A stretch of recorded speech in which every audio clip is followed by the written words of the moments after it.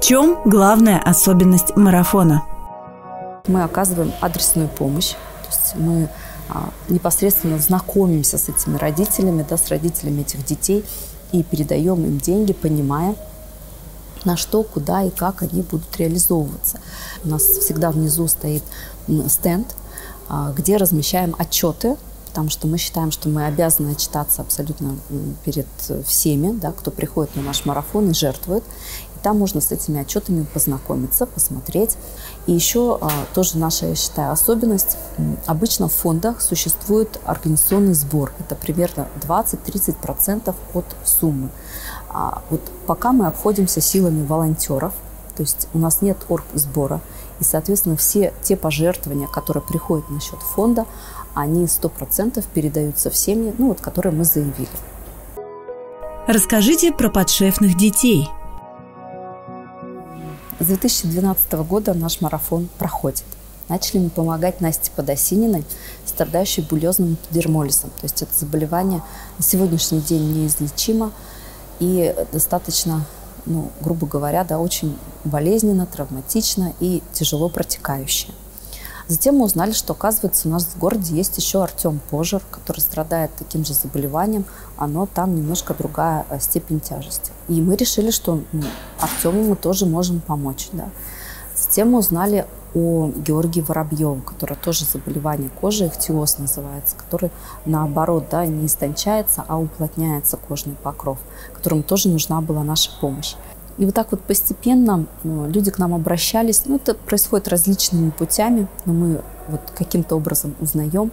И когда мы понимаем, что мы, в принципе, можем помочь и этим людям, да, они становятся уже как нашими подшефными. В чем нуждается подопечная София Шиман? Диагноз э, детский церебральный паралич.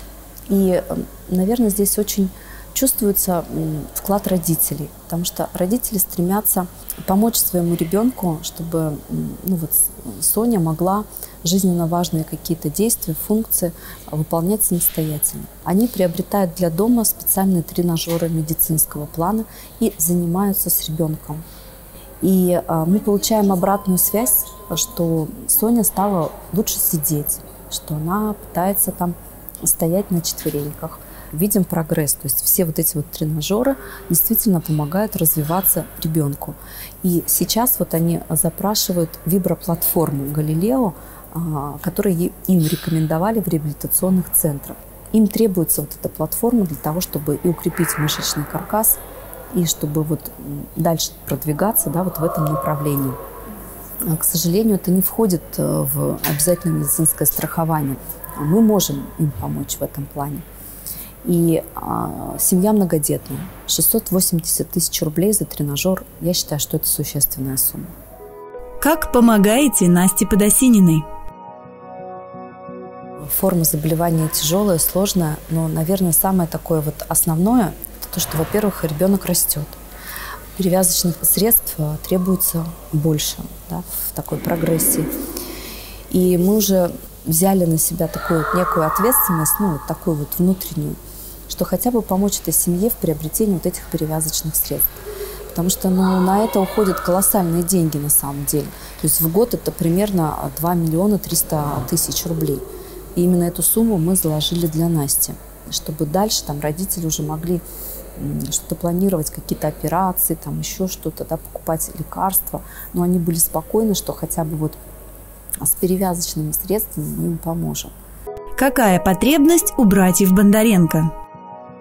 Егор и Евгений Бондаренко, они из Красноселькупа, мы тоже им помогаем а, давно. Помощь наша заключается в оплате реабилитационных а, услуг, то есть они ездили в Сакуру, в город Челябинск. И надо сказать, что все-таки и благодаря вот, этой вот, э, вот этим постоянным курсам регулярным, да, дети социализированы, да, они общаются, они поют. А мама Ольга давно ну, как бы планировала отвезти ребят в Китай, а, в клинику да, для прохождения курса реабилитации, потому что она а, слышала очень много положительных отзывов и хотела бы вот попробовать а, данную, так скажем, методику. В прошлом году мы собирали ребятам 300 тысяч на реабилитацию. Эти деньги у нас остались в резерве. И сейчас вот эм, ну, все более возможным видится эта поездка в Китай. И для ребят мы хотим в этом марафоне собрать еще 600 тысяч, то есть у них получится 900, и они смогут э, поехать в Китай и пройти реабилитацию. Какова потребность благотворительного марафона? Цель нашего сбора – это 5 миллионов 170 тысяч рублей для 9 ребят. Эти деньги нужны ребятам для приобретения перевязочных средств, для приобретения медикаментов, оплаты лечения, курсов реабилитации, а, в том числе а, выездные центры, то есть это поездки а, в Китай, в реабилитационные центры, это Калининград, это Санкт-Петербург, это Челябинск и также для приобретения специализированного медицинского оборудования для, домашнего, для домашних занятий.